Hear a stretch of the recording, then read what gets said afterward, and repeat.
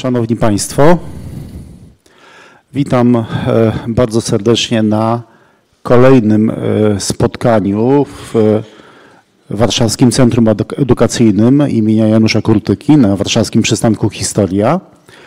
E, kolejnym spotkaniu z cyklu na północ od Warszawy, Warmia i Mazury w XX wieku. Jest to cykl spotkań, który rozpoczęliśmy na jesieni ubiegłego roku. E, spotkania te mają na celu opowiedzenie tu w Warszawie, w sercu Polski o tym, jaka jest historia ta najnowsza, dwudziestowieczna, czasami sięgamy w przeszłość, XIX wiek, regionu e, potocznie zwanego Warmią i Mazurami. Rzecz jasna, tak jak chronologicznie wybiegamy w przeszłość poza ten tytułowy wiek XX, tak samo często nie ograniczamy się do Warmii i Mazur, ale również opowiadamy sobie o tych, tej historii tej ziemi w kontekście historii stosunków polsko-niemieckich, historii Prus wschodnich. To już jest kolejne z tego cyklu spotkań. Dzisiaj ja bardzo się cieszę, że naszym gościem jest doktor habilitowany Zbigniew Kudrzycki. Mój e, serdeczny kolega, z którym raz mieliśmy okazję współpracować jeszcze w okresie, kiedy kierowałem Muzeum Ziemi Piskiej. Zbigniew Kudrzycki jest był nauczycielem historii, jest historykiem regionalistą, jest redaktorem naczelnym rocznika mazurskiego wydawanego w Szczytnie. I y, no, jednym z takich, takich osobowości regionu, jeżeli chodzi o te badania związane z dwudziestowieczną historią Warmii i Mazur, Mazur w szczególności. A dodam jeszcze, że jest chyba jedynym w Polsce e, wyjątkiem, mianowicie od E, to już drugą kadencję, jest wójtem gminy Rozogia, więc mamy historyka z tytułem naukowym, doktora habilitowanego, który jest wyśmienitym samorządowcem, znakomicie funkcjonującym w tej lokalnej rzeczywistości. A więc ta historia wcale nie musi być czymś oderwanym od rzeczywistości, bo może też być postrzegana przez ludzi jako, e, jako pewien element e, predestynujący do pracy e, samorządowej. Bardzo się cieszę, Zbyszku, że jesteś z nami. Powitajmy gości okralaskami. Wśród kilkudziesięciu publikacji naukowych, właściwie pewnie około setki już ich było, warto zwrócić uwagę na książkę, która jest troszeczkę związana z tematem dzisiejszego spotkania treści zawarte w tej publikacji on, będą e, dzisiaj nieraz przez nas komentowane i dyskutowane.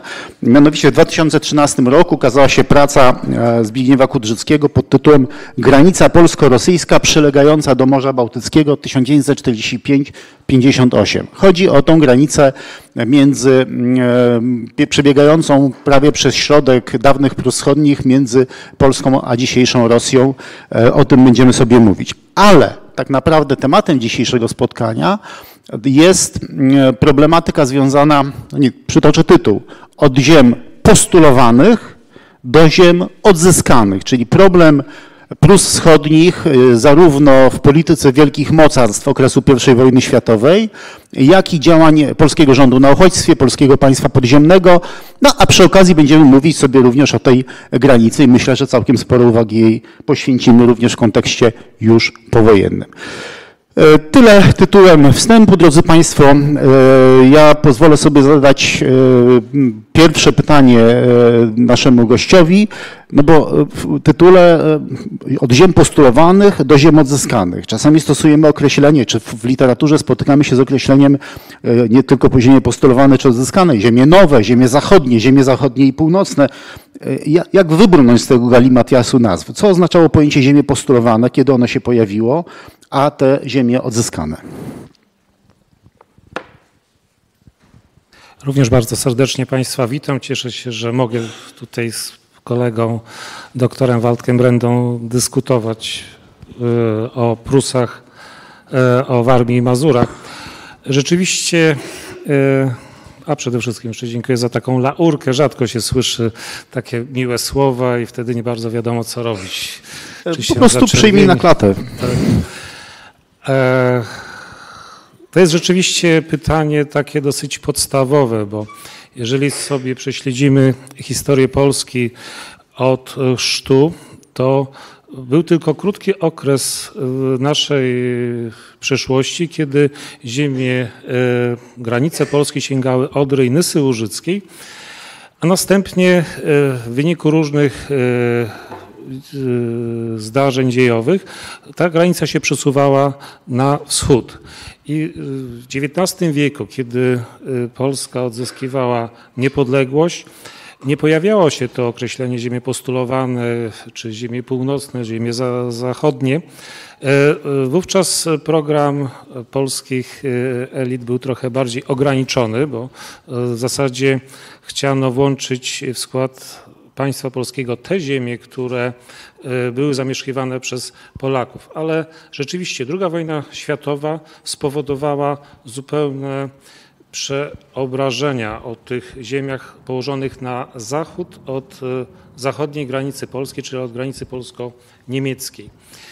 I my mamy rzeczywiście problem, jak te ziemie nazywać, bo trudno nazywać to ziemiami odzyskanymi, a często tak się używa w powszechnej e, terminologii, często też i, i naukowej. Chyba najczęściej e, używa się określenia ziemie północne i zachodnie, które jest takie najbardziej e, e, obojętne pod względem emocjonalnym, bo, bo one, one nic nie, nie, nie znaczy oprócz tego wydźwięku geograficznego w stosunku do byłych granic państwa polskiego. E, natomiast też toczy się wśród naukowców pewien taki spór, dyskurs na, te, na ten temat. Tutaj ja bym się chyba odwołał do takiego profesora Janusza Jasińskiego, który no, jest e, i znawcą historii Warmii i Mazur, ale też e, posiada takie pewien takie wyczucie. I właśnie on się chyba e, skłania do tego określenia, że są to ziemie północne i zachodnie.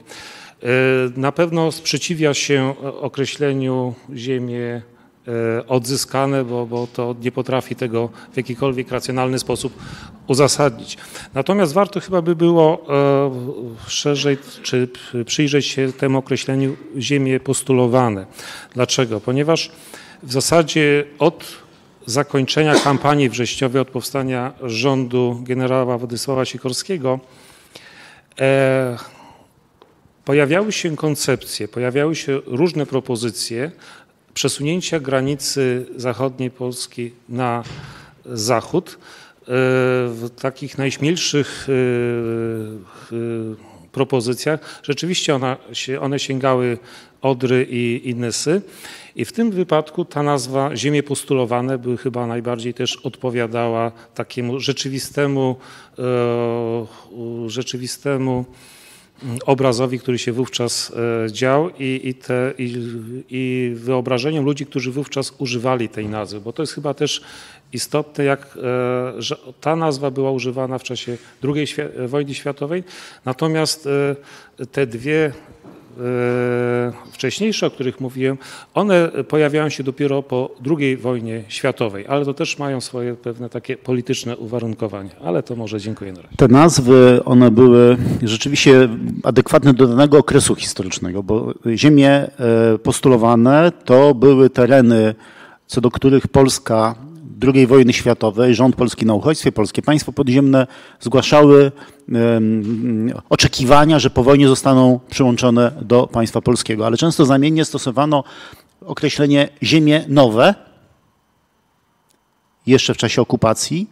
E, I też wtedy się pojawiało określenie ziemie zachodnie e, w strukturach tego samego państwa podziemnego. Ziemie postulowane, ziemie nowe, ziemie zachodnie. E, moment zakończenia tej wojny to przede wszystkim taki komunistyczny mit właśnie tych ziem odzyskanych. Starano się unikać określenia na przykład ziemie poniemieckie, ale też często stosowano określenie ziemie powracające. E, więc proszę zwrócić uwagę, że to nazewnictwo ono niekoniecznie miało oddawać pewną historyczną rzeczywistość, to raczej moment, w którym było e, stosowane przez takie czy inne siły, siły polityczne. E, my dzisiaj generalnie najpierw zajmujemy się tym, tymi sprawami związanymi z II wojną światową, więc tej tematyce, tym ziemiom postulowanym, ziemiom nowym, ziemiom zachodnim będziemy mm, poświęcać najwięcej uwagi. E, no właśnie, mamy moment wybuchu II wojny światowej, klęska wrześniowa, i niemal natychmiast po klęsce wrześniowej, jak wspomniałeś, rząd generała Władysława Sikorskiego e, zaczyna opracowywać dokumenty, w których, no, jakby nie było rząd państwa, który przegrał kampanię wojenną, które znalazło się pod okupacją, w której tak naprawdę zaczyna już przygotowywać dokumenty e, określające e, zainteresowanie e, terytorialne w momencie klęski Niemców. To jest przedziwna sytuacja. Ponieśliśmy klęskę we wrześniu 1939 roku, jesteśmy rządem na uchodźstwie i w tym momencie zaczyna się przygotowywanie E, materiałów, które e, uzasadnią polsko, przyłączenie do polskiej części tych ziem poniemieckich. Jak to się odbywa? W jaki sposób są te materiały przygotowywane? Czy to już jest jakaś jednolita koncepcja określająca te polskie aspiracje terytorialne? Czy tam trwa jakaś dyskusja w tym rządzie polskim na uchodźstwie? Rzeczywiście. E chwilą utworzenia rządu we Francji, w zasadzie 10 października generał Władysław Sikorski już określa cele wojny i y, jednym z celów było taki postulat likwidacja problemu wschodnio-pruskiego, tak to zostało wówczas określone, czyli y, należało to rozumieć przede wszystkim jako e, postulat włączenia w skład państwa polskiego przyszłego państwa polskiego po, po wojnie e, całych Prus wschodnich. I to jest pierwsza taka informacja. Oczywiście to się, to był pewien taki pomysł, pewna myśl, którą należało opracować. Z tym, że co e, rzeczą chyba istotną jest też to, że w zasadzie e, dwa dni później już e, ten postulat został jasno sformułowany w rozmowie ministra spraw zagranicznych Augusta Zalewskiego z premierem brytyjskim i, i powiedziano wyraźnie, że po zakończonej wojnie, jak jednym z celów wojny powinno być to, aby Prusy Wschodnie zostały włączone w skład państwa polskiego. Mamy październik, to tak jak kolega powiedział, tu jeszcze w zasadzie e, na ziemiach polskich, w państwie polskim e, trwały nie wygasły walki, was, tak walki w zasadzie nie wygasły, a już określono rzeczywiście te, te cele. Z tym, że też e, tak może dla takiego okazania pewnego kontekstu całej tej sytuacji warto powiedzieć, że pięć dni później ambasador Związku Radzieckiego czy Związku Sowieckiego e, wiedział już o tych polskich postulatach i mógł się z nimi zapoznać. Urzędnik brytyjski przekazał jemu te, te informacje. Dlaczego o tym mówię? Bo to wszystko, co rząd polski postulował, jakie przedstawiał stanowiska, zawsze w pewnym momencie strona sowiecka o tym y, wiedziała, była poinformowana, co stawiało rząd polski w dosyć trudnej, a często wręcz niezręcznej sytuacji. Ale rzeczywiście y, powołano taką, taki organ, który miał przygotować koncepcyjnie przyszłe granice państwa polskiego i te prace trwały Y, bardzo długo, bo, bo praktycznie one zakończyły się, jeżeli chodzi o, zachodnie granice Polski, czy w ogóle o granice Polski. W 1942 roku, w momencie przekazania not jednej Wielkiej Brytanii, rządowi Wielkiej Brytanii i Stanów Zjednoczonych, czyli aliantom, z polskimi postulatami granicznymi gdzie postulowano włączenie e, Prus Wschodnich bez kraju kłajpeckiego, czyli tej części litewskiej, e, również przesunięcie granic e, Polski na zachód, z tym, że włączenie Śląska Opolskiego i oparcie się o Odrę. Takie były główne postulaty. Czyli jeżeli mogę na chwileczkę przerwać, rozumiem, że w październiku 1939 roku władze polskie zgłaszają sojusznikowi brytyjskiemu e, informację, że jesteśmy zainteresowani ziemiami poniemieckimi. E, już to jest chyba określone, jakie to mają być ziemie, że to są między innymi Prusy Wschodnie, e, Śląsk i tak dalej, a w dalszym ciągu trwają prace doprecyzowujące te, te oczekiwania graniczne, przy czym jak rozumiem, postrzegano te ziemie, które miałyby stać się częścią Polski, jako przyszła zdobycz wojenna na pokonanych Niemczech. Czy ten, ten element się pojawił? Że to ma być y, w wyniku klęski Niemiec zdobycz wojenna państwa polskiego, te ziemie poniemieckie kolega porusza same ciekawe problemy, bo my ze swojej strony, czyli rząd polski, traktował to jako rekompensata za wojnę, jako, wo jako zdobycz wojenna.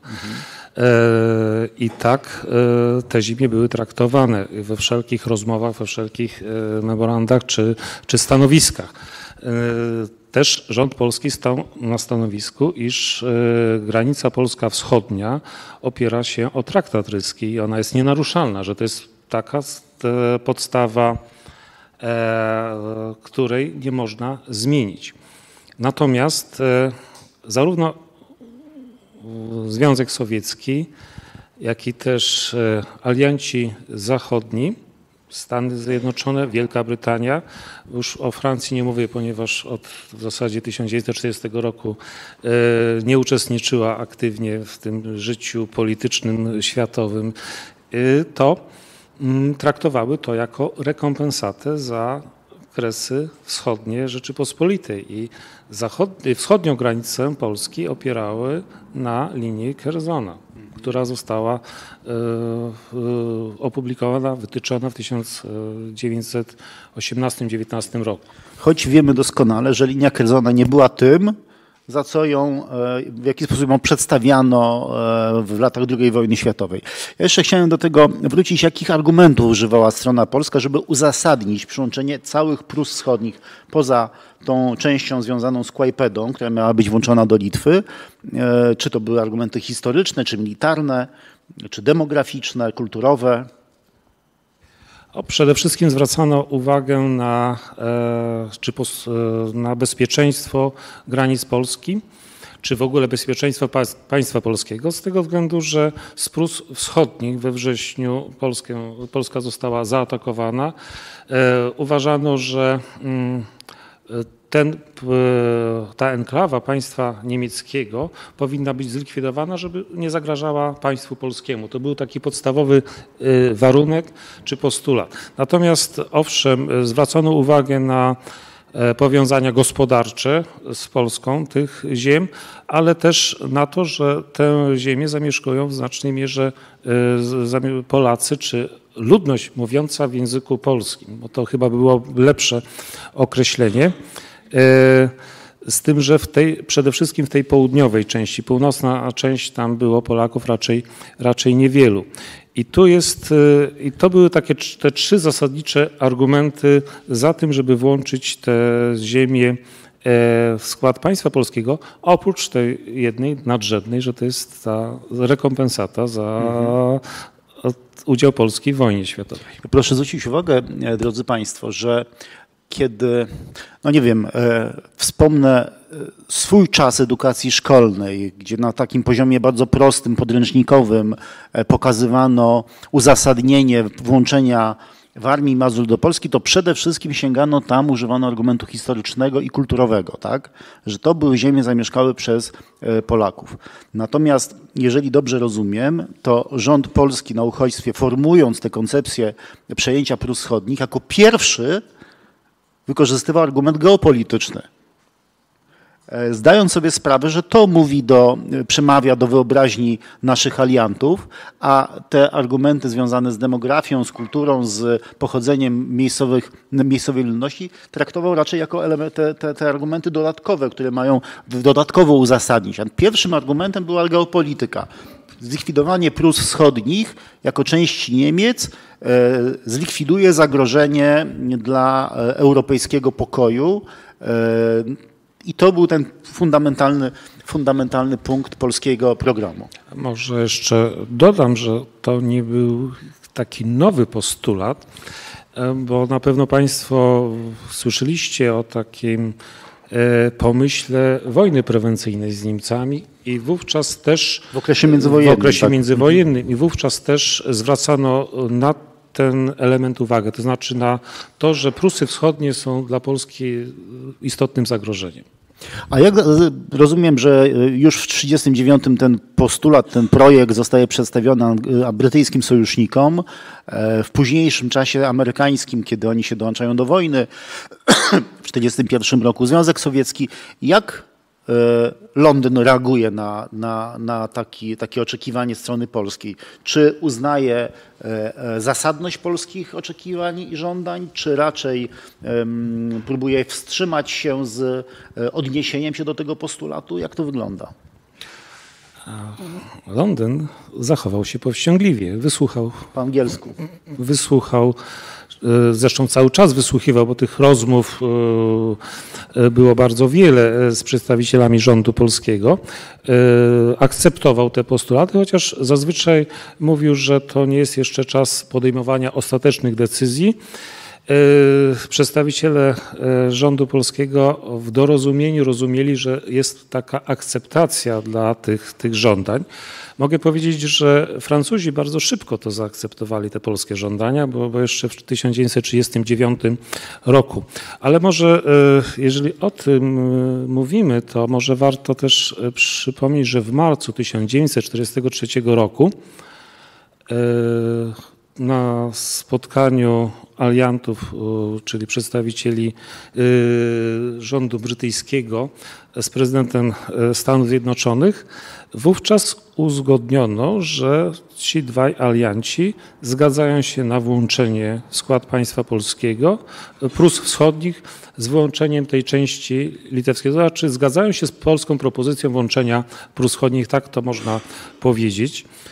I y, też jest chyba dosyć y, mało powszechnie znany fakt, że była taka konferencja przygotowująca y, Mm, spotkanie Wielkiej Trójki w Teheranie. Ona się odbyła w Moskwie w drugiej połowie października i wówczas również już w zasadzie trzej alianci wyrazili zgodę na włączenie w skład państwa polskiego Prus Wschodnich, chociaż to się zgodnie z, z opublikowanymi protokołami można powiedzieć, że to tak, w taki sposób e, mm, dorozumiany czy akceptowalny, że E, że minister spraw zagranicznych Wielkiej Brytanii Eden powiedział o tym, pozostali ministrowie nie zgłosili sprzeciwu.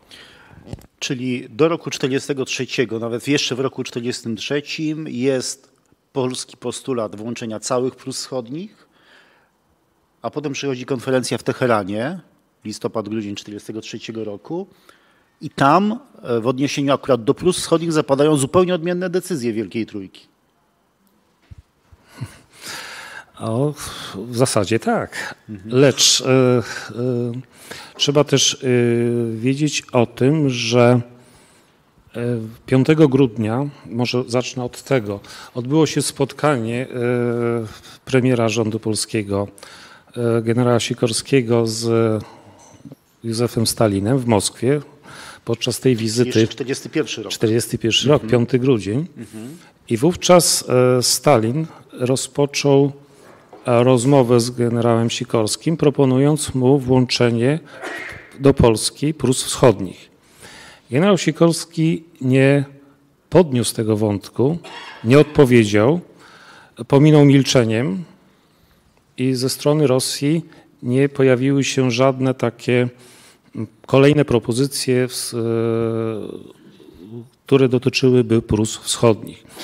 Owszem, e, po powrocie do Wielkiej Brytanii generał Sikorski był e, usatysfakcjonowany tym, że Sikorski złożył taką propozycję i założył. Stalin, Stalin że złożył taką propozycję. Przepraszam, mhm. że Stalin złożył tę propozycję i y, że y, to jest taka rzecz bardzo pozytywna. Rzeczywistość, myślę, jest zupełnie inna. Stalin chyba sądował, jak zareaguje Sikorski I pytanie jest takie bardzo istotne, co by było, gdyby generał Sikorski pozytywnie odpowiedział Stalinowi podczas tej rozmowy. A też dwa tygodnie później był minister spraw zagranicznych Wielkiej Brytanii w Moskwie i już wówczas e, Stalin przedłożył e, temu ministrowi propozycję podziału Europy Wschodniej e, według koncepcji rosyjskiej, koncepcji sowieckiej gdzie jeżeli chodzi o Prusy Wschodnie, to zakładano, że już w tej koncepcji, czyli mamy połowę grudnia 1941 roku, e, w skład e, litewskiej Socjalistycznej Republiki Sowieckiej zostaną włączony kraj Kłajpecki oraz e, Prusy Wschodnie do linii Pregoły wraz z Królewcem. To był 41 rok, połowa grudnia. Czyli rozumiem, że w rozmowie z Sikorskim Stalin rzuca propozycję włączenia do całych Prus Wschodnich, a w rozmowie z Brytyjczykami już wtedy mówi o podziale e, Prus Wschodnich na tą część, która miałaby być sowiecka i, e, i ewentualnie polska. E, no właśnie, a wróćmy do konferencji techrańskiej w listopadzie, grudniu 1943 roku. Jak tam zapadają te decyzje? Bo rozumiem, że Prusy Wschodnie były pierwszym e, obszarem czy skrawkiem e, dawnych Niemiec, co do których zapadły decyzje Wielkiej Trójki. Pozostałe te, te, te tereny poniemieckie no, zostały jak gdyby podzielone czy przyznane Polsce dopiero w następnych konferencjach Jałta i, i Poczdam, a tu już w Teheranie te decyzje zapadły. Jak one wyglądały i dlaczego to taka różnica w traktowaniu tych ziem poniemieckich? W zasadzie e, w Teheranie e, podczas rozmów ustalono, że Prusy Wschodnie zostaną włączone do e, Polski.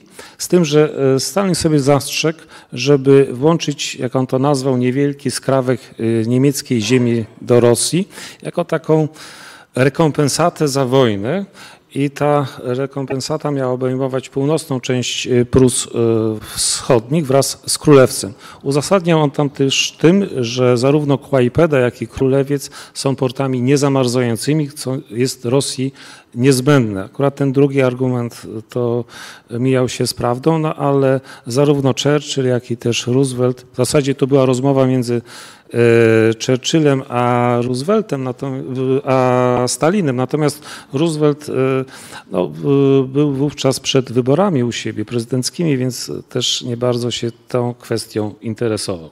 I akceptował wszystko to, co ustalili ci dwaj przed chwilą wymienieni politycy. Przy czym tam już zapadła decyzja o przesunięciu granic Polski, czyli y, mamy te teherańskie ustalenia, mamy y, ustalenie Wielkiej Trójki, że Polska odzyska tylko część Prus Wschodnich i mamy też wówczas informację, która nie, ma, nie była ujawniana, o tym, że te Prusy Wschodnie mają być rekompensatą za ziemię utracone na rzecz Związku Sowieckiego. A więc proszę zwrócić uwagę, że to jest moment, w którym zmienia się zupełnie koncepcja. E, te polskie postulaty, że to ma być e, polska zdobycz wojenna i rekompensata za wojenne zniszczenia, za to, że to Niemcy rozpętały wojnę, ten argument geopolityczny, tu wszystko znika tak naprawdę, a pojawia się ten wątek rekompensaty za ziemię utracone na rzecz Związku Sowieckiego. Tu może e, też warto powiedzieć, że wówczas też e, wstępnie rozgraniczono e, te Prusy Wschodnie na część polską i rosyjską i wprawdzie tu mam taką mapę. Może pokażemy. Może pokażemy, tak?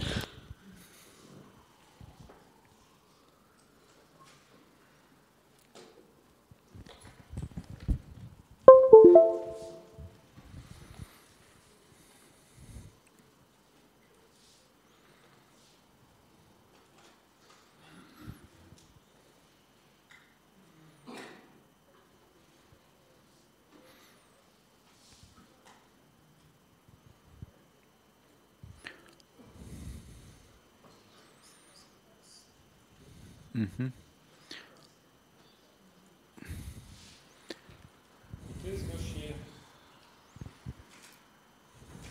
To jest mapa e, obwodu kaliningradzkiego. zaznaczoną tą czarna, czarna linia, która biegnie od Bałtyjska, czyli, do, czyli Piławy, poniżej Kaliningradu, wzdłuż rzeki Pregoł, jak i Pisy. I to jest, to jest to, tak była wstępnie zaprojektowana granica między Polską a Rosją w Prusach Wschodnich. Tu jeszcze może dodam, że po tym e, spotkaniu w 1941 roku w grudniu e, w Moskwie powołano dwa zespoły, e, które miały opracować pod względem gospoda, propozycje pod względem gospodarczym, terytorialnym, e, powojenny e, ład czy powojenny porządek w Europie. Przewodził temu Iwan Majski. Mhm. Rozmawiamy o stanowisku wielkich mocarstw wobec tej granicy, wobec Prus Wschodnich. Pewnie jeszcze do tego wrócimy w kontekście ustalania kształtu tej granicy ostatecznego, już z tej mapy widać wyraźnie, że ta propozycja z grudnia 1943 roku z konferencji teherańskiej e, bardzo drastycznie różniła się już nawet od tych ustaleń e, z dwa lata późniejszych, czy półtora roku późniejszych. Natomiast spróbujmy na chwilę pozrzucić te sprawy międzynarodowe i zastanówmy się, jak wyglądało w tym czasie nastawienie, czy pozycja, czy stosunek polskiego państwa podziemnego do tych, do tych spraw związanych z Prusami Wschodnimi, bo z jednej strony mamy rząd na uchodźstwie, który postuluje wyłączenie tego terenu, a z drugiej strony mamy różne koncepcje i różne konkretne działania, które mają przygotować, bo wszyscy wierzymy, wierzą, że wojna skończy się klęską Niemiec i odzyskaniem przez Polskę suwerenności. Nikt nie, a przynajmniej niewiele osób prorokuje, że ta Polska stanie się zależna od Związku Sowieckiego a więc polskie państwo podziemne e, również przygotowuje się na bardzo różnych poziomach do tego, aby te e, postulaty wprowadzić w życie. Jak to wygląda, te działania e, polskiej konspiracji? Z jednej strony rząd polski na uchodźstwie opracowywał koncepcyjnie polskie postulaty graniczne po zakończeniu wojny światowej, ale z drugiej strony też e, e, w państwie podziemnym zostało powołano specjalne takie komórki do opracowywania sposobów zagospodarowania włączenia tych nowych ziem. Tam brał udział taki y, profesor e, Stanisław Srokowski, on był, był, był konsulem w Królewcu, był takim autorytetem w kwestii Prus Wschodnich. I powstała taka nawet specjalna komórka, tutaj kolega jest specjalistą w tym, bo napisał taki dosyć duży artykuł, y, która nosiła kryptonim Teczka, która zakładała podział terytoria, terytorium Prus Wschodnich na okręgi administracyjne, y, jak, w jaki sposób y, miało być to zarządzane. To terytorium przejmowane pod względem gospodarczym, także tu oprócz tej takiej pracy, nazwijmy to koncepcyjnej, która się odbywała na zachodzie Europy czy w Londynie, E, jednocześnie na terenie e, Polski, w Polsce e, też przygotowywano się do włączenia tych ziem w skład państwa polskiego. No, tutaj wspomniałeś Stanisława Strokowskiego, e, który był geografem, kartografem. On e, rzeczywiście niezwykle zasłużony. Opracowywał dla, na rzecz podziemia e, wydawnictwa, które potem się ukazywały i, i rozchodziły w konspiracyjnym obiegu. Natomiast warto wspomnieć inne nazwisko. Na spotkaniu z profesorem Kasparkiem miesiąc temu ono padło. Ludwik Muzyczka, który był, był jednym z twórców też tej koncepcji włączenia Prus Wschodnich. On stworzył strukturę taką e, administracyjną, która miała przygotować przejęcie Prus Wschodnich, e, przygotowywał kadry do tego, e, a więc przygotowywał ludzi, którzy mieliby jechać do konkretnych powiatów, obejmować konkretne funkcje administracyjne. Z tego, co wyłania się z różnych nielicznych niestety dokumentów, wspomnień, literatury przedmiotu, przygotowywano na przykład specjalnie służbę sanitarną, e, która miałaby w momencie klęski Niemiec jechać do poszczególnych powiatów wschodniopruskich i organizować tam służbę zdrowia. Przygotowywano duszpasterstwo. W to zaangażowany był ksiądz Jan Zieja, które miałoby odtwarzać strukturę kościoła, no pewnie głównie na katolickiej Warmii, ale nie tylko. Przygotowywano pewne działania E, planowano w ramach e, Szarych Szeregów.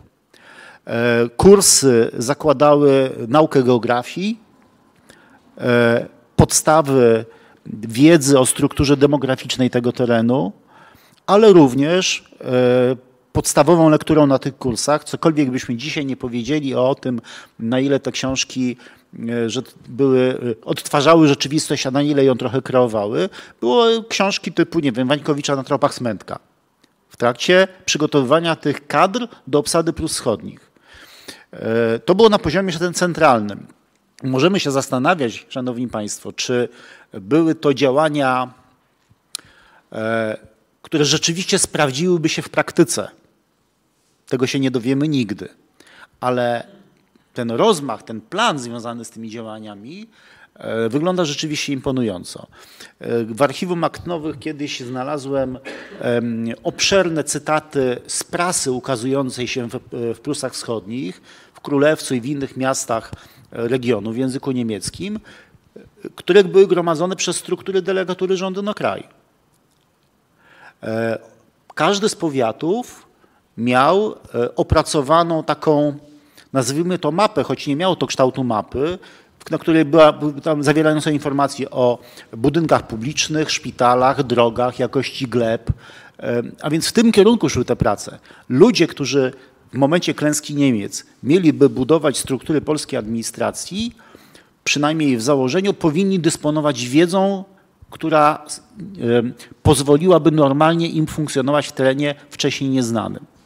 Jeszcze raz mówię, nie wiemy, jak te przygotowania mogłyby się sprawdzić w praktyce, bo okoliczności kończącą wojnę, kończące wojnę nie pozwoliły na to. Natomiast te, te przygotowania były rzeczywiście imponujące. Ja tylko jeszcze powiem taką, taką mm, e, dygresję. Analizowano nawet zachowania ludności pogranicza, czy byłaby to ludność, ta ludność zainteresowana przenoszeniem do Prus Wschodnich, czy nie. A więc są na przykład raporty z Pomorza, z których wynika, że mieszkańcy Pomorza e, nie są zainteresowani porzucaniem swoich gospodarstw i przenoszeniem na tereny poniemieckie. To jest rok 43. Ale już na przykład mieszkańcy Kurpi czy Łomżyńskiego tak. A więc proszę zwrócić uwagę, że na szczeblu centralnym zbierano tą wiedzę. To może warto jeszcze dodać jedną kwestię, bo którą tak pomijamy. Y, o mieszkańcach Prus Wschodnich. Y, w polskich koncepcjach zakładano, z czym też y, zgadzali się alianci, że ludność niemiecką należy przesiedlić, wysiedlić z tego obszaru, który zostanie Polsce przyznany. Natomiast problematyczne stawałoby się no, rozgraniczenie tej ludności niemieckiej, warmińskiej, mazurskiej. Jak ją określić? Jak, jak ją określić, y, bo e, to jest problem pewnej takiej świadomości lokalnej, regionalnej, ale też i świadomości narodowej. I tu w tym przypadku byłoby chyba dosyć trudno, ale takie, takie pomysły były. Też warto powiedzieć, że Prusy Wschodnie były takim ogromnym e, terytorium, na którym pracowali e, robotnicy przymusowi. E, szczególnie z Mazowsza, z, bo było to najbliżej, ale też, czy z Podlasia, ale też i z innych regionów, czy z innych państw nawet. I szczególnie może też w tym kontekście warto powiedzieć, że tereny przygraniczne służyły do tego, żeby mieszkańcy północnego Mazowsza czy Kurpi korzystali z tych dawnych znajomości i mogli pracować u znajomych rolników, bauerów i jednocześnie to e, chroniło ich to przed wywózką gdzieś dalej, jakimiś represjami, natomiast jednocześnie też oni korzystali, ci bauerzy z pracy, a też z ochrony takiej mm, ci polscy mieszkańcy północnych, północnego Mazowsza.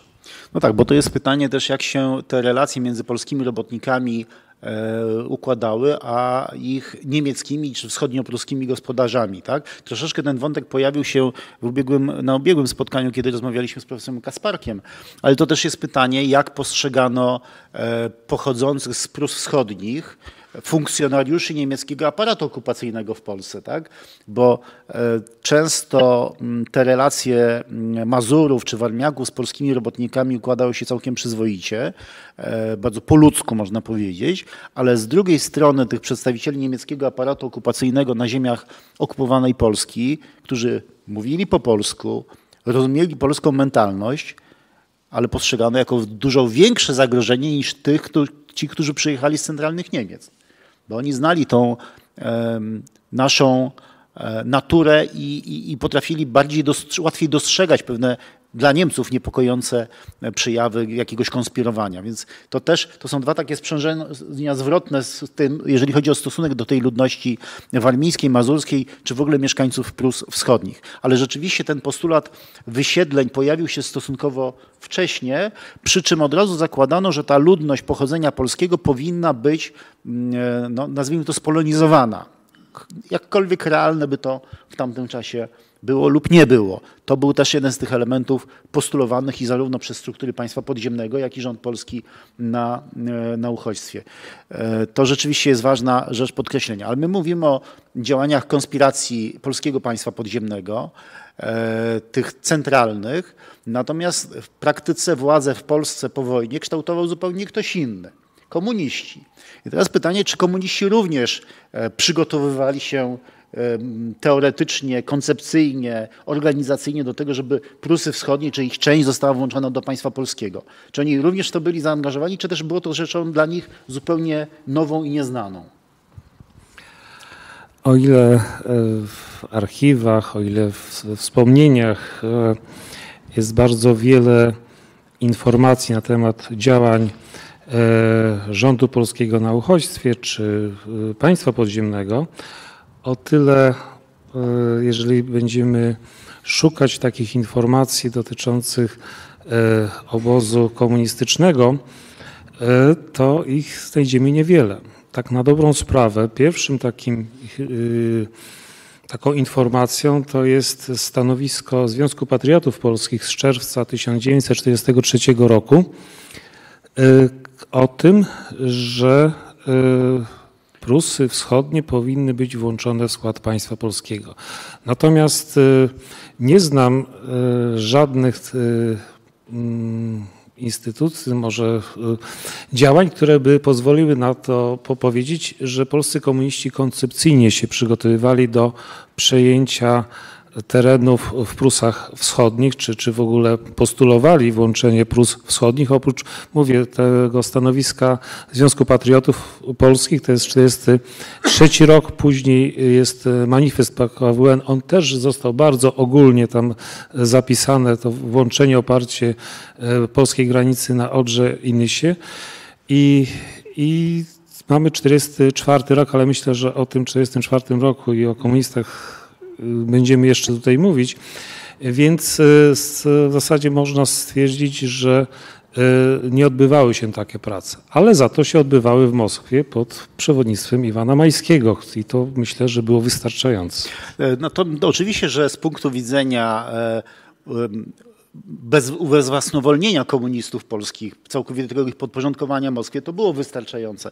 Natomiast dlaczego ja zwracałem na to uwagę, szanowni państwo? Ponieważ przez kilkadziesiąt lat PRL-u karmieni byliśmy takim, taką ideologią, jakoby to e, dzięki objęciu władzy przez PPR, dzięki e, komunistom, ten postulat przyłączenia ziem odzyskanych e, został zrealizowany, prawda? Tymczasem oni zupełnie e, ani nie mieli pojęcia o tym, e, czym są te tereny poniemieckie, jaka jest ich historia, nigdy się tym nie zajmowali. To było dla nich rzeczą zupełnie obcą, ani nie podejmowali w czasie wojny, kiedy te postulaty mogły być już realne, żadnych działań koncepcyjnych. Praktycznie, choć też nie do końca, zdając się tak naprawdę na decyzję Moskwy. Dlaczego te moje zastrzeżenie nie do końca? Ponieważ mamy lipiec 1944 roku, kiedy e, przedstawiciele PKWN-u e, w Moskwie rozmawiają na temat granicy polsko-sowieckiej, w praktyce zgadzają się na ten sowiecki dyktat e, zabrania nam ziem wschodnich, ale no właśnie, według wspomnień Drobnera, Osóbki Morawskiego, którzy uczestniczą w tych negocjacjach, pojawia się taka informacja, że oni próbują w Prusach właśnie wschodnich uzyskać coś więcej niż proponuje Stalin. Na ile to jest prawda? Jak przebiegały te negocjacje z lipca 1944 roku między Moskwą a PKWN-em? Czy to w ogóle były negocjacje? W zasadzie dopóki nie zostaną otwarte archiwa sowieckiej udostępnionej będzie można korzystać z zasobów, trudno jest powiedzieć. Opieramy się w zasadzie tylko i wyłącznie na pewnych wspomnieniach, relacjach z tego okresu i rzeczywiście ci negocjatorzy, którzy tu zostali wymienieni, oni bardzo tak mocno przypisują sobie to, iż walczyli o to, aby ta granica była bardziej na północ niż pierwotna rosyjska propozycja. Mhm. E w tej chwili trudno jest powiedzieć. Ja wprawdzie w książce tam to dosyć szczegółowo opisuję te, te, te, te negocjacje. Może warto powiedzieć, że pierwotna propozycja zakładała włączenie do e, państwa sowieckiego e, nawet Elbląga i terenów na północ od Elbląga, także dosyć ta granica została jeszcze bardziej przesunięta na, na północ.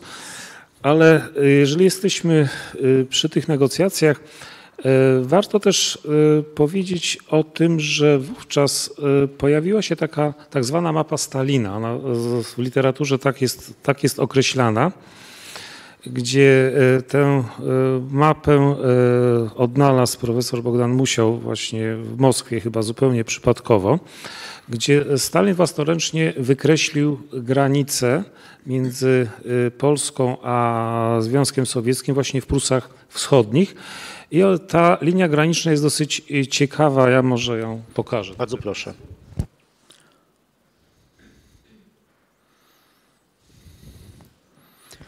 Ona jest y, niedatowana, y, nie ma oryginalnego sygnatury, kiedy powstała, natomiast jest E, wszelkie takie pośrednie e, przypuszczenia, dowody wskazują na to, że ona pochodzi z lipca 1944 roku, czyli z czasów, z czasów tych negocjacji, może sprzed negocjacji. I proszę e, zwrócić uwagę, znaczy, że granica biegnie od Ciśniny Piławskiej, czyli znacznie pół, Temat taki północ. dosyć aktualny, prawda? Ta, ta, także to, to i ziemię, skład państwa polskiego miało być włączony znacznie większy y, obszar Prus Wschodnich niż rzeczywiście y, został włączony. Y, więc to też poddaje wątpliwość tę walkę tych polskich negocjatorów w Moskwie w lipcu 1904 roku, jeżeli chodzi o, o mm, tę granicę. Tym bardziej, że Mm, sam układ, który podpisano 26 e, lipca 1934 e, roku e, no, zawierał taką dosyć lakoniczną określenie, jak ta granica ma przebiegać i ona mniej więcej, tak z grubsza rzecz, odpowiada tej linii, która tutaj Państwu pokazujemy na tej, na tej mapie. To wobec tego, co się dzieje? Mamy lipiec 1944 roku. Stalin odręcznie sobie rysuje jakąś tam kreskę na mapie Prus Wschodnich, kreskę, która e, zaczyna się w, mie w miejscu, gdzie jest Cieśnina Piławska, czyli e, ważny strategicznie, komunikacyjnie i gospodarczo punkt na tej mapie. Może nie jest polski, ale jest równo dostępny dla Sowietów i Polaków. Ta mapa pokazuje, że te tereny, które mają być włączone do Polski, są przesunięte dużo bardziej na północ niż granica, która tak naprawdę zaistniała w roku 1945. A dodajmy, że w roku 1945, kiedy kształtuje się już po zajęciu e, Prus Wschodnich polska administracja na terenie mm, tych ziem poniemieckich, to polscy urzędnicy, starostowie e, razem z ekipami administracyjnymi e, organizują urzędy w miastach powiatowych, nie wiem, Święta Siekierka, Gierdawy, Pruska i Ława, czyli w miastach, to jest lato 1945 roku, no, które dzisiaj do Polski nie należą. Dokumenty z mm, kilka tygodni późniejsze pokazują, jak niemal z godziny na godzinę muszą ci polscy urzędnicy e, pakować się i szybko stamtąd uciekać, bo granica nagle jest przesuwana, e, co polską stronę całkowicie zaskakuje. Co się wydarzyło? Dlaczego ta zmiana koncepcji Stalina między lipcem 1944 roku a e, sierpniem, wrześniem 1945 roku? Tu musimy się wrócić jednak zanim 45 Wcześniej. rok, to jest 44 i y, wejść w pewne uwarunkowania polityczne, y, geopolityczne czy międzynarodowe. Y, PKWN powstaje 22 lipca. Umowa jest podpisana 26 lipca. I teraz nawet rząd sowiecki uznaje PKWN 1 sierpnia, jeżeli powiedzmy uznać tam takie, taką notę dyplomatyczną witającą powstanie, z radością witającą powstanie PKWN-u. Nie, e, PKWN nie jest uznawany przez żadne inne państwo, e, nie mówiąc o Stanach Zjednoczonych czy, czy Wielkiej Brytanii. Ta jest umowa, komitetem samozwańczym, powiedzmy sobie szczerze. E, ta umowa z lipca 26 jest tajna. Nikt o niej nie wie. Nie wiedzą alianci zachodni. O tej, tę umowę zna tylko i wyłącznie Stalin i, ci, i yy, to kierownictwo PKWN-u. Yy, więc nie można pokazać publicznie yy, tej umowy. I dochodzimy do sytuacji takiej, kiedy Armia Czerwona wkracza na teren yy, Niemiec, E, wprawdzie pomijam tutaj taki e, epizod w zasadzie walk w Prusach Wschodnich, który był jesienią 1944 roku, ale e, koniec wojny w 1945 roku zbliża się bardzo mm, szybko i gwałtownie i wówczas powstaje pewien problem. Armia Czerwona zajmuje terytoria państwa niemieckiego, w jaki sposób przekazać to stronie polskiej y, zgodnie z tymi obietnicami, które zostały zawarte w umowie z 26 lipca 1944 e, roku. E, konferencja w Krymie nie ustaliła zachodniej granicy Polski, jedynie zaakceptowała podział Prus Wschodnich. I wówczas e, powstaje taki dokument Komitetu Obrony Rosyjskiego Komitetu Obrony, to jest GOKO w skrócie, czyli Gasudarstwienny Komitet Obrony, z lutego 1945 roku i to jest jednostronny dokument e, instytucji czy rosyjskiej, sowieckiej, który określa polskie granice. To jest dosyć ciekawe. Nie wynik umowy międzynarodowej, tylko sowiecka decyzja, tak? Tak. Mało mhm. tego, ten dokument jest tajny nawet dla Polaków, dla przedstawicieli PKWN-u. I to jest właśnie 20 luty i tu jest przebieg tej granicy, yy, yy, który yy, zawarty w, te, w, tym opisie. On jest, pokrywa się ponownie z tą mapą, którą Państwu pokazywałem. Chociaż y, też jest zbieżny z tym dokumentem, który został podpisany 26 lipca, ale na podstawie tego tajnego e, postanowienia Komitetu Obrony e, następuje przekazywanie e, polskiej administracji ziem niemieckich zajętych przez Armię Czerwoną. Y, od wiosny 1945. Y, jeżeli chodzi o, o Prusy, to też y, ta granica, która tutaj jest zawarta, była przestrzegana przez komendantów wojennych. Tu się jeszcze jest jeszcze jedna kwestia, która myślę, że jest ważna, jeżeli chodzi o Prusy. To 23 maja zostało podpisane takie porozumienie pomiędzy e, dowódcą trzeciego frontu białoruskiego Rokosowskim, a pełnomocnikiem rządu polskiego na, na okręg mazurski Jakubem Prawinem.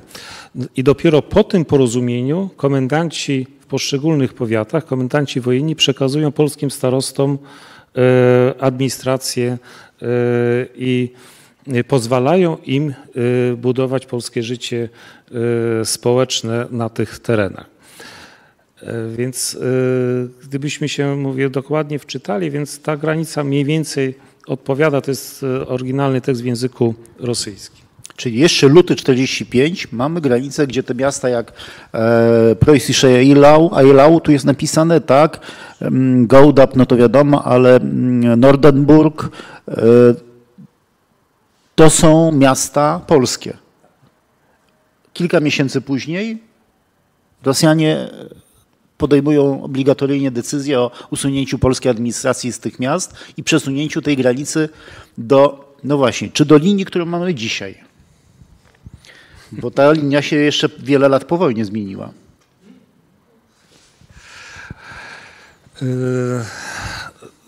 To jest stan rozgraniczenia do 16 sierpnia 1945 roku. I teraz dochodzimy do dosyć ciekawej rzeczy, bo polska delegacja, która na początku sierpnia e, wyjechała do Moskwy negocjować układ graniczny, układ państwowy z Związkiem Sowieckim, e, jak przyznał w swoich wspomnieniach i w relacjach, e, które zostały zachowane w archiwum Ministerstwa Spraw Zagranicznych, Osóbka Morawski, który podpisywał układ 26 e, lipca 1944 roku, e, zapomniał wziąć ze sobą. I dopiero polska delegacja poprosiła stronę rosyjską, żeby wydano duplikat. Mapy. Mapy. Mhm. Z 26 e, lipca 1944 roku. Zapomniał. Mhm. No zwyczajnie zapomniał. To tak to pisał. Jasne. I co się wtedy dzieje? Co dostaje polska e, delegacja? No tak, dostaje e, mapę, na która jest linia graniczna aktualnie obowiązująca. Aha. I tak została wytyczona e, granica I... polsko-sowiecka, a dzisiaj polsko-rosyjska w tak, w ten sposób. Znaczy ja nie chcę opowiadać tu o negocjacjach, ponieważ E, to jest dosyć barwna opowieść i znajduje się w książce, także zachęcam do lektury, ale może powiem takich kilka rzeczy dosyć istotnych. No, e, nie, e, zabrano ze sobą nikogo, kto byłby specjalistą, jeżeli chodzi o Prusy Wschodnie. Ani profesora Stanisława Strokowskiego, ani żadnego przedstawiciela Związku Mazurów, którzy współpracowali z Polskim Państwem Podziemnym, chociażby z Sukertowa Biedrawina, bardzo taka znana Karol Małek, postać. Walter Późny, tak. Tak, nikogo, kto cokolwiek by A potem, e, wiedział o że przerwę, w lipcu 1944 roku zgłosili akces do PKWN-u, uznając, że PKWN przejmie władzę i z punktu widzenia Mazurów nie jest to tak bardzo istotne, kto będzie rządził, natomiast trzeba nową władzę uczulić na problem wschodniopruski, więc oni jadą do Lublina, deklarują swoje poparcie i z tego nic nie wynika, bo nikt z nich nie uczestniczy w tych negocjacjach, choćby po to, żeby doradzać, żeby coś o czymś informować. Tak, jako, jako, jako specjalista z tego, tak.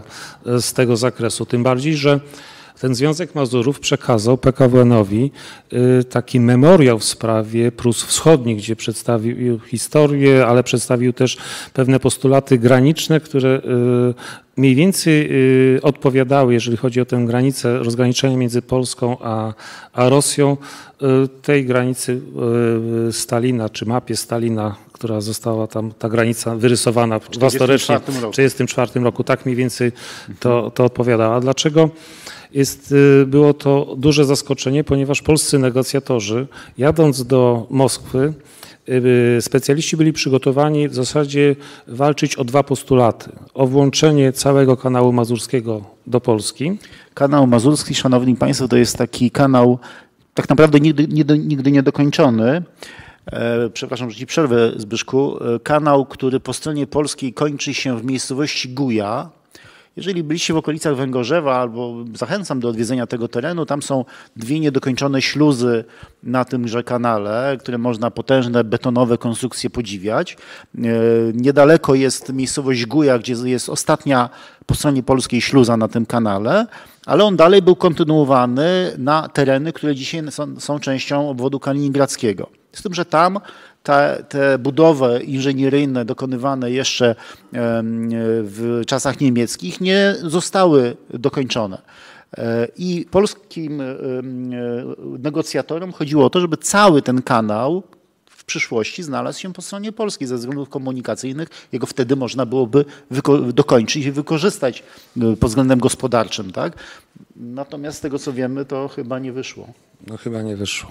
Mhm. Oraz drugi postulat e, dotyczy włączenia Alemborga, ponieważ tam się znajdowała elektrownia wodna, która zasilała energię elektryczną znaczną część e, Prus Wschodnich.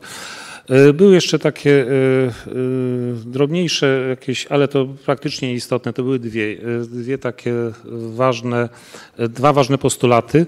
W momencie, kiedy mm, polscy E, przedstawiciele, którzy tam pojechali, zobaczyli tę propozycję, e, już wówczas, rosyjską propozycję, już wówczas tam na miejscu, korzystając z tych materiałów, które zostały przez nich zabrane, przygotowali e, polską odpowiedź na tę rosyjską propozycję.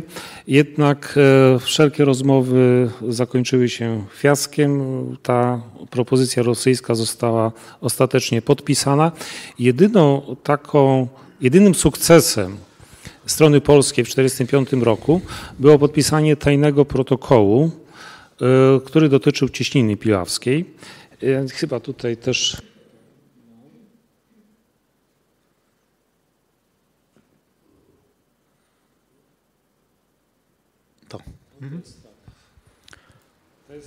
Ten tajny protokół e, podpisany pomiędzy stronę polską i stroną rosyjską, którą który praktycznie nigdy nie wszedł w życie. Upoważniał on, czy uprawniał on statki które, handlowe, które będą płynęły do Elbląga i z powrotem, że mogą przepływać przez ciśninę piławską. Z tym, że to oczywiście jest tam to drugie zastrzeżenie, które praktycznie działa od momentu podpisania. Ten protokół z sierpnia 1945 roku, podpisany przez Osóbkę Morawskiego i Mołotowa, jak widać, był konieczny, no bo w pierwszej wersji Ciśniena Piławska miała być dla Polski dostępna. Granica się przesuwa, więc to ma być taka, mm, e, powiedziałbym, rekompensata za tą przesuniętą granicę, że Ciśnina Piławska dalej, w myśl ustaleń między Sowietami a mm, rządem wtedy już e, no, tymczasowym rządem jedności narodowej jest, jest e, dostępna również dla Polaków, mimo że znajduje się w granicach Związku Sowieckiego. No ale jaka jest praktyka, to chyba żaden statek nie przypłynął przez tą ciśninę e, pod polską banderą. Tak? W latach 90. były próby, ale chyba nieudane XX wieku. Mm, czyli mamy, mamy bardzo ciekawy dokument, w jakiś sposób rzutujący również na dzisiejsze decyzje związane z przekopem E, przez, mm, przez Mierzeję, bo, bo, bo to jest ciągle ten mm, obecny e, w polskich oczekiwaniach postulat. A może trochę wybiegnę w, w czasie do czasu bardziej współczesnych. Zapisy tego protokołu zostały zawarte również w umowie prawnej granicznej między Polską a Rosją z 1961, 1961 roku. E, zawarto e, zapisy tego protokołu i też one są do tej pory, były od, w zasadzie zawsze były nie, nierespektowane przez stronę sowiecką, e, czyli one są praktycznie martwe.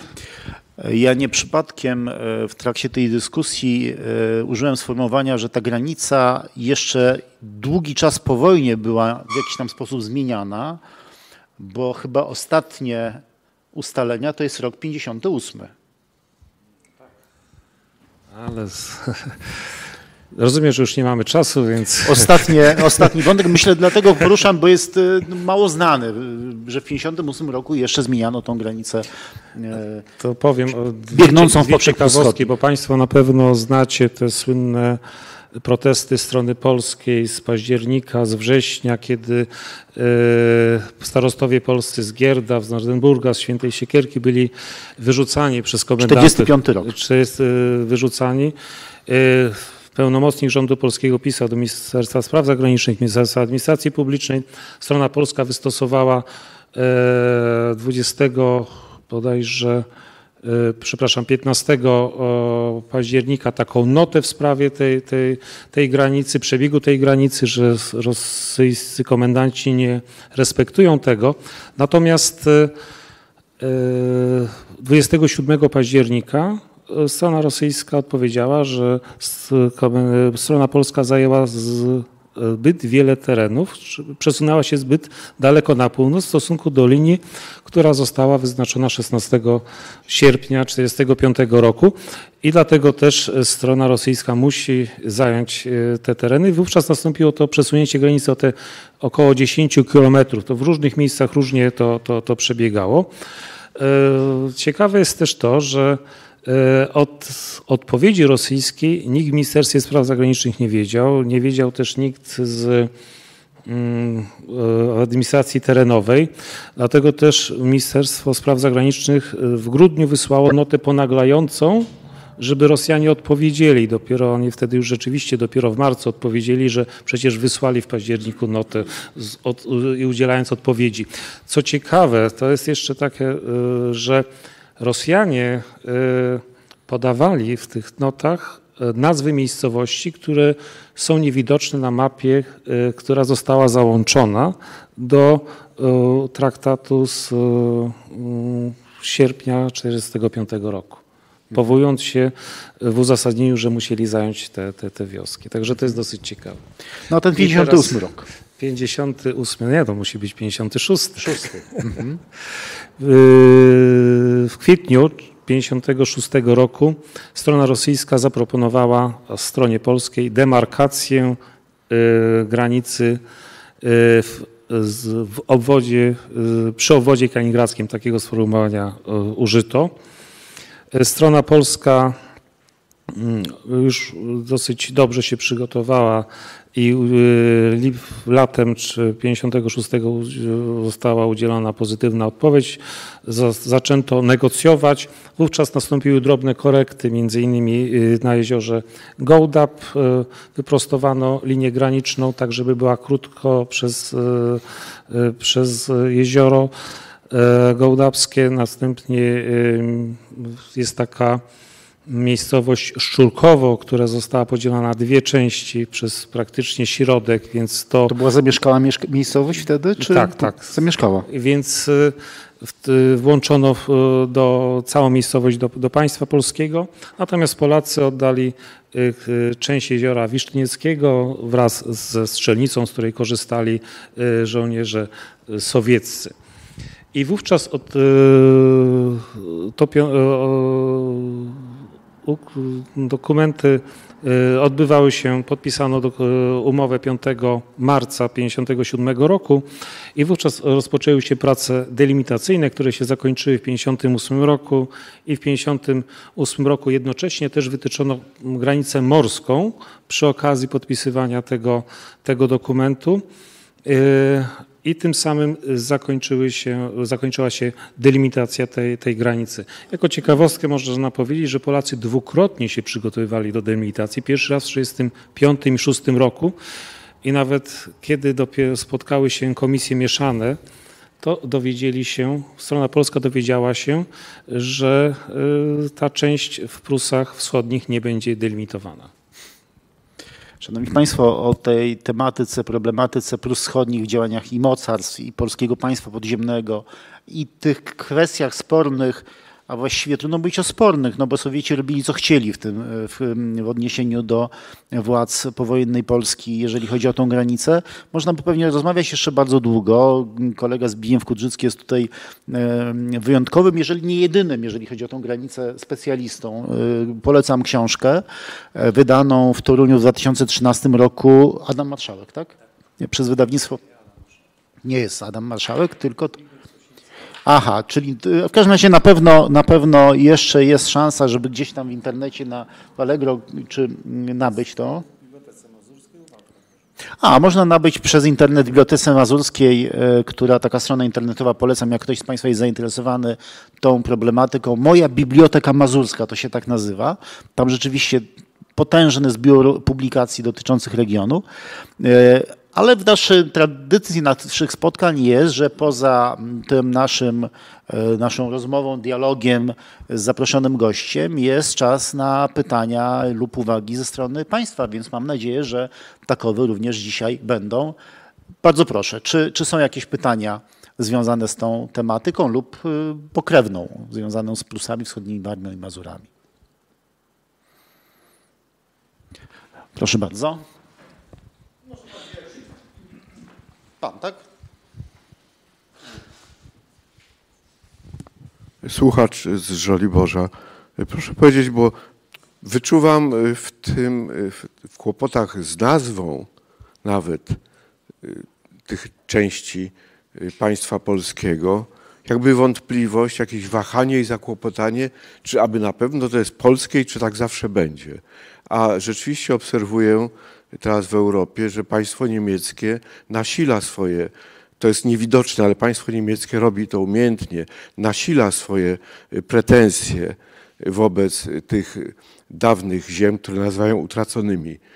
Ja myślę, że mm, w naukach historycznych, jak pamiętam, każdy obszar, gdzie sięgało władztwo polskie, był nazywany ziemiami polskimi. Przecież y, władztwo polskie sięgało również y, do y, lewego brzegu Łaby, Sali i to się określa jako ziemie polskie. Myślę, że to by sprzyjało takiemu właśnie uznaniu integralności i, całości państwa polskiego. Dziękuję. Jeżeli chodzi o trwałość tej granicy, to mogę powiedzieć w ten sposób, że jest to też jedyna granica, która uzyskała sankcje e, Unii Europejskiej, ale najpierw były też negocjacje 2 plus 4, gdzie w pewnym momencie brał udział minister spraw zagranicznych Polski Krzysztof Skubiszewski i był też postulat, on też przedstawiał problem granicy w Prusach Wschodnich. I proszę e, też e, zwrócić uwagę na to, że po układzie 2 plus 4, który został podpisany w Moskwie e, w 1990 roku, bodajże w listopadzie Polacy podpisali układ, który y, y, był wynikiem tego wcześniejszego y, porozumienia 2 plus 4. I to była ta oficjalne zakończenie II wojny światowej. To było też ta konferencja pokojowa, która jest wymieniana w konferencji poczdamskiej, że będzie ta przyszła konferencja, która zakończy stan II wojny światowej w Europie. Dopiero wówczas nastąpiło formalne zakończenie II wojny światowej. Natomiast e, z tym nazewnictwem to, to, co mówiliśmy na początku, to my wymieniliśmy w zasadzie e, takie trzy nazwy, które są używane przez wiele osób, przez różne środowiska. W różnym momencie historycznym. W różnym momencie historycznym. I my sobie tutaj nie pretendujemy do tego, żeby wybrać jedną jedynie słuszną nazwę, bo nawet jeżeli byśmy to spróbowali robić, to zawsze się znajdą osoby, które będą próbowały, czy środowiska, które będą próbowały zmienić te, te, nazwy. Natomiast one, one się w nauce historycznej utrwaliły i w zasadzie są e, używane często zamiennie przez e, tych samych autorów różnych prac. Ja jeszcze, zanim oddam panu mikrofon, uzupełnię, że ziemie postulowane to były te ziemie, które pojawiło się, to określenie pojawiło się w tych koncepcjach rządu polskiego na uchodźstwie i polskiego państwa podziemnego. Obok pojęcia ziemie postulowane pojawia się pojęcie ziem nowych. W strukturach e, Komendy Głównej Armii Krajowej powstaje Wojskowa Administracja Ziem Nowych. Pojawia się pojęcie ziem zachodnich. Jest w delegaturze Biuro Ziem Zachodnich. W szarych szeregach jest akcja Ziemie powracające. Komuniści po wojnie używają określenia ziemie odzyskane. Ja myślę, że ten nasz największy, bo ja, ja, się troszeczkę z Panem bym zgodził o tyle, e, że, że e, my, zwłaszcza ja mam taki problem, używając określenia ziemie odzyskane, e, wolę używać określenia tak zwane, bo mam świadomość, jak manipulowali tym problemem komuniści. Prawda? E, więc jest to próba zdystansowania się do takiego przeideologizowanego podejścia do tej problematyki, e, a nie zakwestionowania polskości tych ziem. Czy inaczej, też nie polskości, polskiej obecności na tych ziemiach w jakimś tam historycznym momencie, ale również obecności kulturowej na terenie Warmii i Mazur, co na poprzednich spotkaniach mówiliśmy, w jakiś tam sposób potem niestety zanikało. Więc raczej to ma na celu, ja tak to interpretowałbym u siebie, e, zdystansowanie się do tej e, ideologizacji tego problemu przez komunistów. E, natomiast w różnych momentach historycznych rzeczywiście te różne pojęcia, pojęcia pojawiały się. Ja przepraszam, najpierw tam panom z tyłu dam i mikrofon i potem wrócimy do przodu. Dzień dobry, witam. Grabski Artur. E, pracuję nad pewną publikacją nie wiem, czy pan profesor byłby w stanie mi pomóc, jeżeli chodzi o kwestię zdobycia informacji działania polskiego wywiadu i kontrwywiadu na pograniczu polsko-niemieckim, zwłaszcza okolice Muławy, lata 38-39, jak również działalność, no i zakończeniem mm, działalności e, szpitala psychiatrycznego w Kortowie. Myślę, że ta historia jest panu absolutnie znana, ale to są takie drobiazgi. Natomiast w kwestii e, czysto politycznej, czy ma raczej bardziej militarnej, mm, Zdaję sobie sprawę, dlaczego Hitler z przyczyn prestiżowych bronił e, każdego odcinka, czy to na froncie wschodnim, czy nie ściągał potężnych setek tysięcy żołnierzy z Bałkanów, czy 320 e, tysięcy żołnierzy na przykład z Norwegii.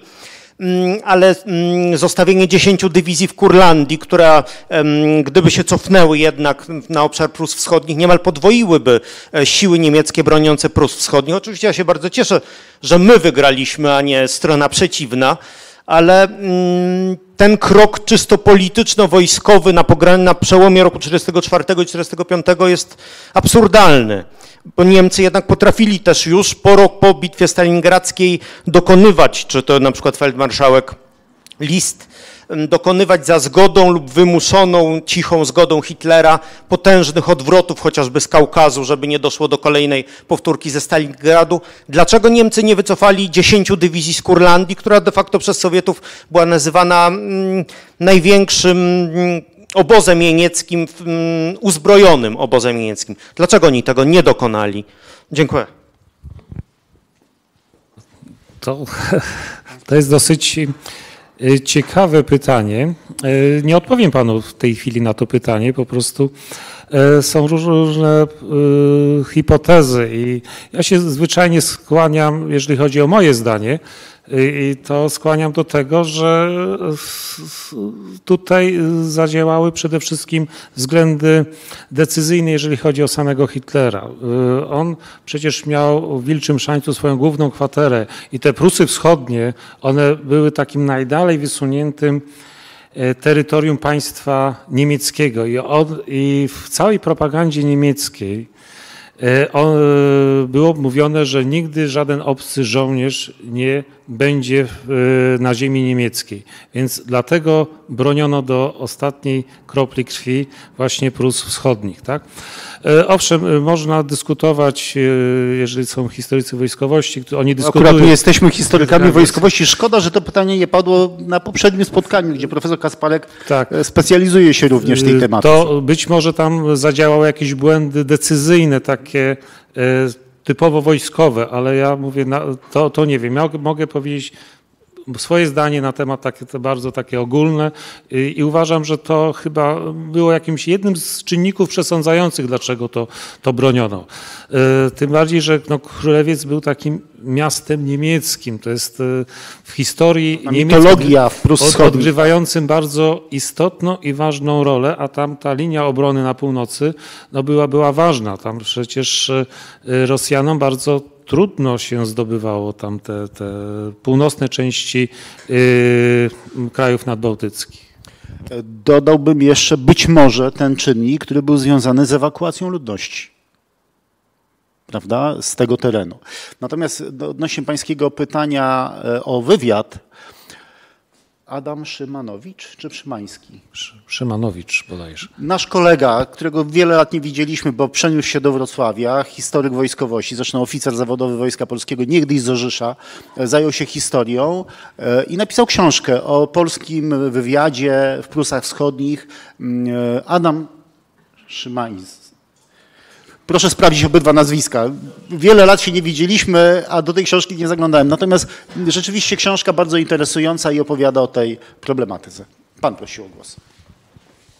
Co do tych roszczeń rzekomych, e, aktualnych, niemieckich do Prus, myślę, że to już jest pase całkowicie, bo e, już Brandt, e, jak rozpoczął rozmowy, to podskórnie to było zrzeczenie się niemieckiego wschodu i stąd te umowy międzynarodowe o takiej wielkiej ewakuacji z wszystkich krajów Europy Środkowej i Wschodniej ludności pochodzenia niemieckiego, to było czytelne. Już niemiecki wschód jest nieaktualny i to, to, to nie ma do czego wracać, bo to jest e, niepotrzebne tylko mącenie w głowach. Ja, sentymenty, Boże drogi, ale sentymenty o polityce nie stanowią.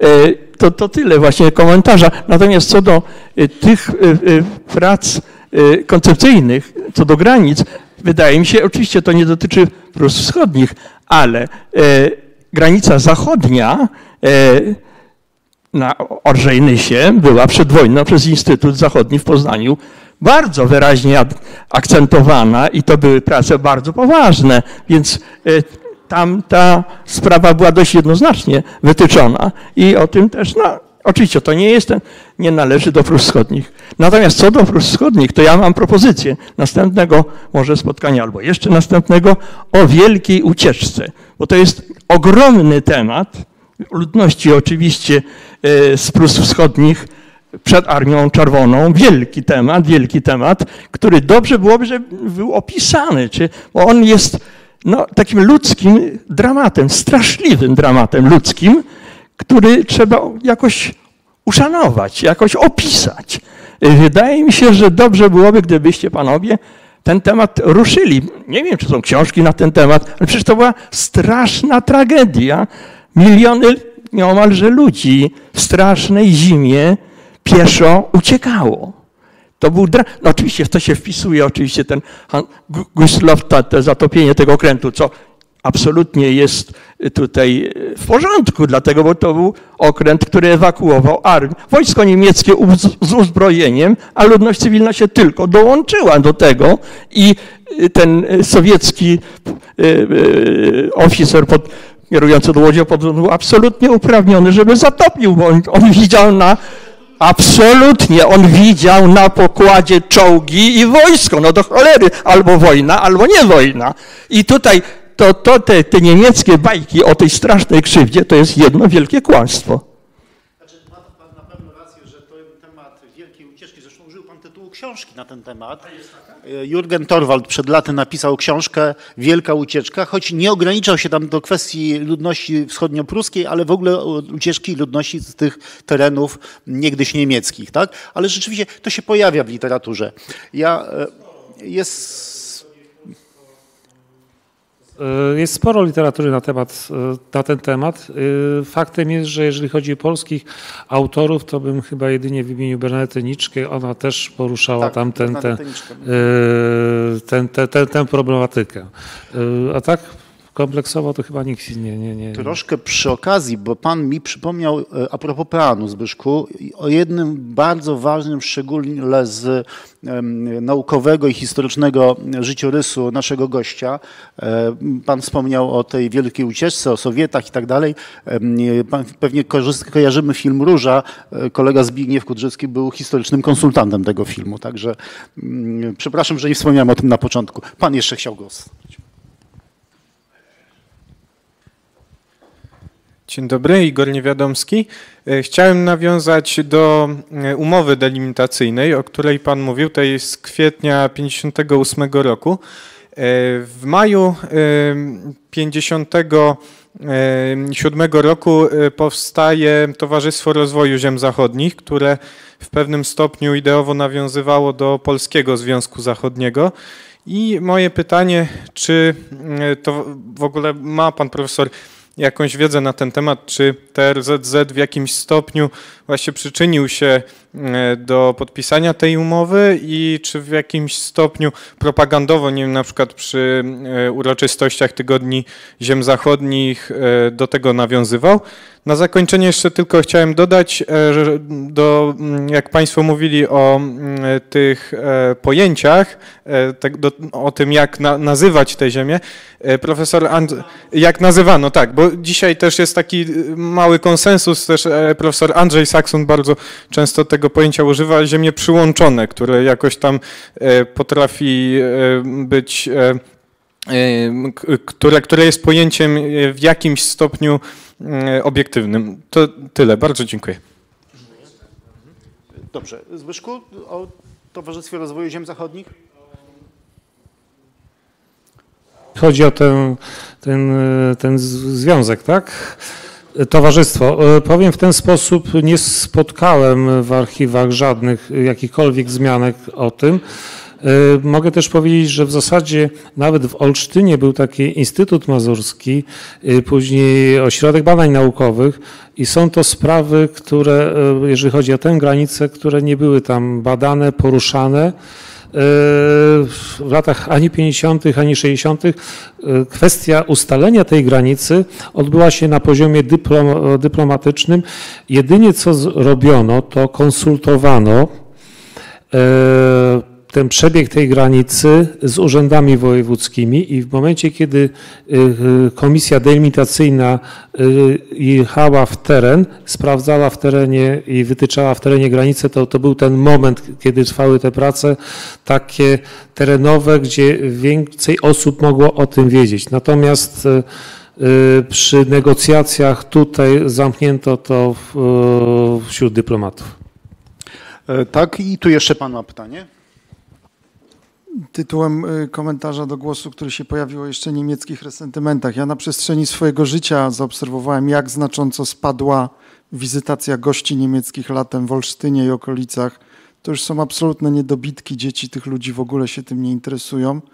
Nawet późni przesiedleńcy z lat 70., 80., to już znam osobiście takich, to ich dzieci o wybitnie polskich nazwiskach, które jeszcze się urodziły w latach 80.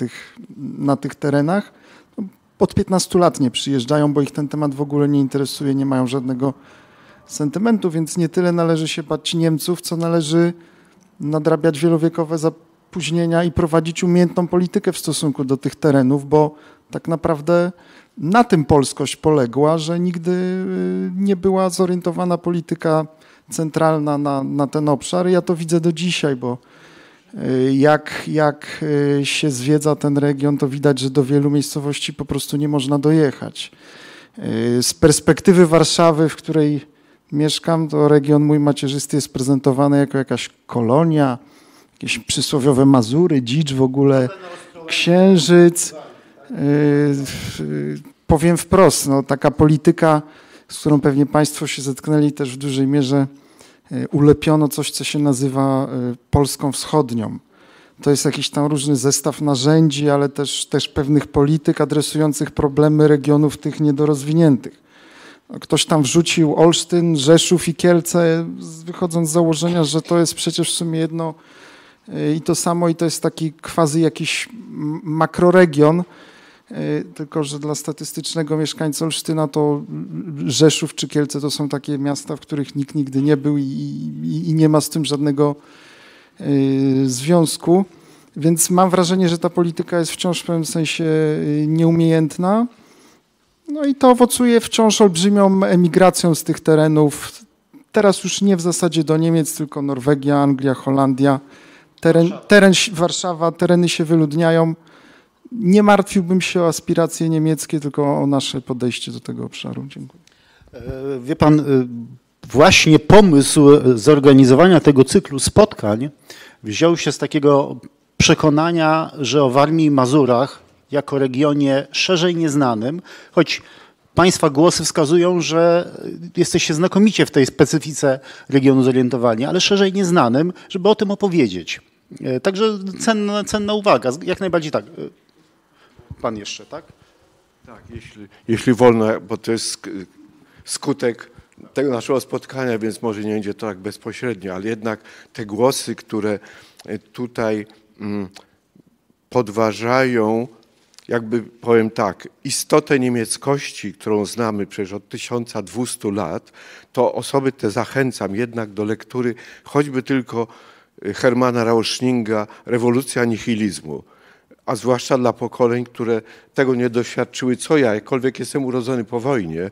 Natomiast rzeczywiście potwierdzam, że naszą winą jest to, że y, wszelkie y, dzielnice y, porozbiorowe do dziś nie są zintegrowane z państwem, nie tworzą tej scalonej, nie tworzą tej całości. Natomiast o ile mm, ta, to Drang nach Osten dzisiaj wyglądać może inaczej niż kiedyś, to to się w istocie, muszę to jednak powiedzieć, nie zmieniło. O ile y, tak zwany niemiecki Wielki Plan Wschodni, Generalplan Ost, zakładał wielkie, a to jest właśnie też właściwość niemiecka, wysiedlenia, przesiedlenia, zasiedlania, tak ten plan nie został rozliczony. Ten plan jest realizowany dzisiaj, tylko pod kanclerstwem choćby pani Merkel, przepraszam za tę dygresję, ale muszę to wypowiedzieć do końca, y, chce, chce państwo niemieckie na, osiedlić na terytorium suwerennego państwa polskiego, stosując to samo narzędzie przemocy, a jest to właściwość cywilizacji tej, jaką reprezentuje państwo niemieckie. Setki tysięcy nie Niemców, nie Niemców, ale osobników, yy,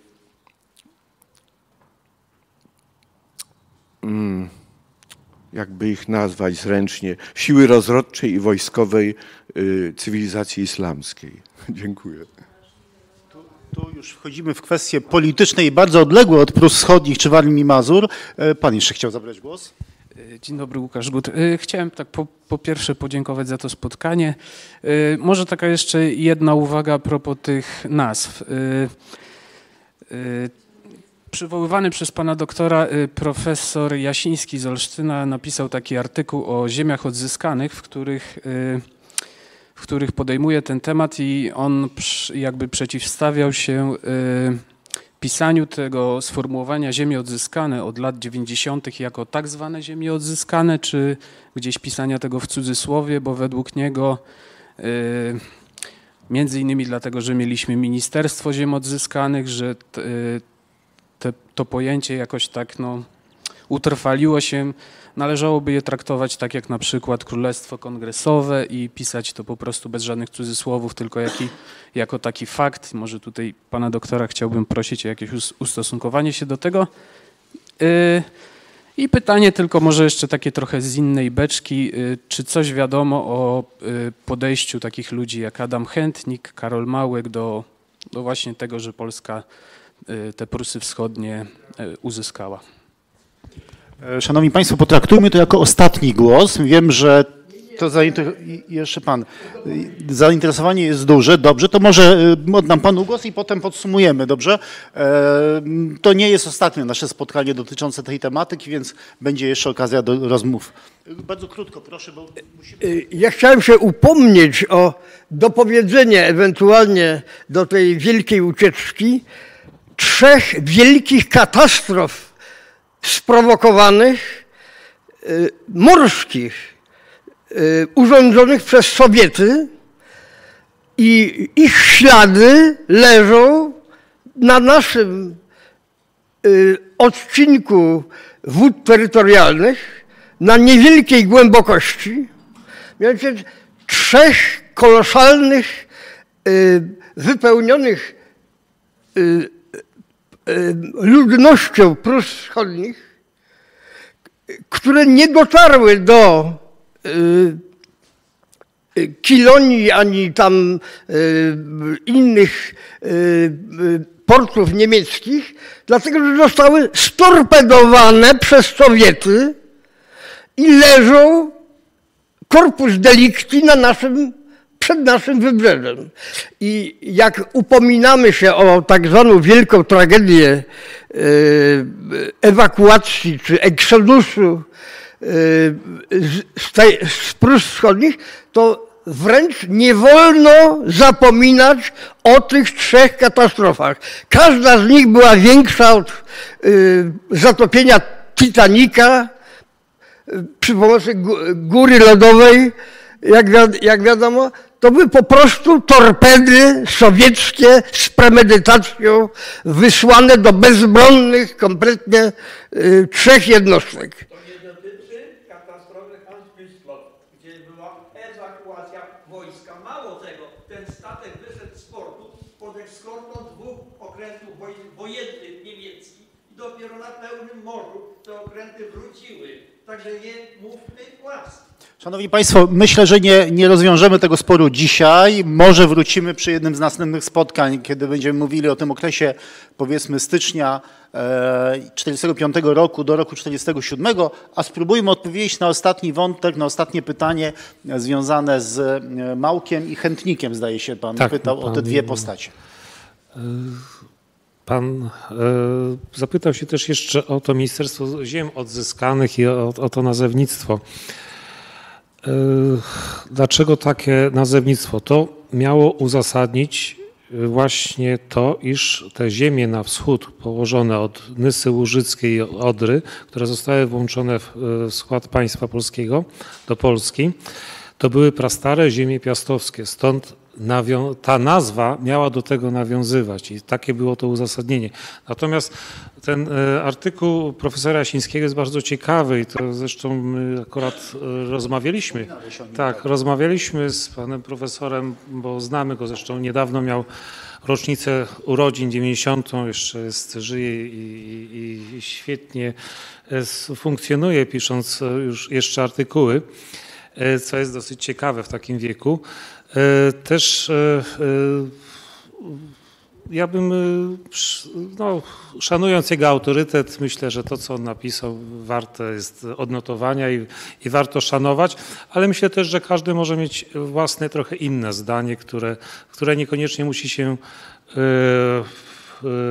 powielać, czy być zgodne z tym, co, co profesor Jasiński mówi, bo on tam rzeczywiście ma to w tym artykule też e, e, bardzo szeroko to opisuje, uzasadnia i tak dalej, także myślę, że tam każdy też może znaleźć coś do siebie.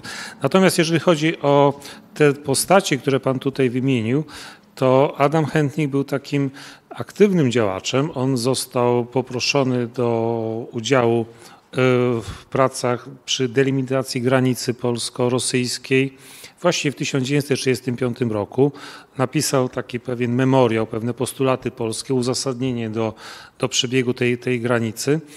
I, i y, niestety tego nie wykorzystano, przynajmniej w tym czasie, ponieważ tej granicy w Prusach Wschodnich nie y, wytyczano w terenie. Tak? To dopiero nastąpiło o 10-12 lat później. Tak? Stąd, przynajmniej nie Polacy wytyczali. Tak, no przynajmniej nie Polacy. Natomiast jego udział był aktywny tutaj też, e, jeżeli chodzi o Karola Małka, czy e, to był taką istotną postacią w życiu i mazurskim, i społecznym e, w armii i Mazur i odgrywał tutaj bardzo ważną rolę. Natomiast nie korzystano w przypadku tej drugiej osoby z pomocy. W ogóle to jest dosyć dziwne, że nie korzystano z pomocy czy z takiej wiedzy eksperckiej, jeżeli chodzi o granice, z osób, które wywodziły się z Mazurów, czy z Mazurów z Działdowszczyzny, z Działdowszczyzny. E, przecież tam był dosyć silny ośrodek, jeżeli chodzi o Mazury i taki propolski. Natomiast niestety nie. Tutaj rzeczywiście Adam Chętnik był takim ekspertem, ale to był 45-46 rok. No później już się niestety nie, nie, nie, nie pojawia jako ekspert, jeżeli chodzi o, o Prusy czy Warmię i Mazury. Szanowni Państwo, można o tym rozmawiać naprawdę długo. Cieszę się z tych pytań, bo one pokazują, że w jaki sposób e, zaciekawiliśmy e, Państwa podczas tego spotkania. Mam taką przynajmniej nadzieję. Bardzo dziękujemy e, Zbigniewowi Kudrzyckiemu, doktorowi habilitowanemu Zbigniewowi Kudrzyckiemu, że przyjechał tu do Warszawy i opowiedział nas, nam o tym naprawdę mało znanym wątku z historii Warmii Mazur, Prus Wschodnich, tej ziemi, która w 1945 roku stała się częścią państwa polskiego. A ja Państwu bardzo dziękuję za przybycie i za tą e, intrygującą, interesującą dyskusję. Dziękuję Państwu.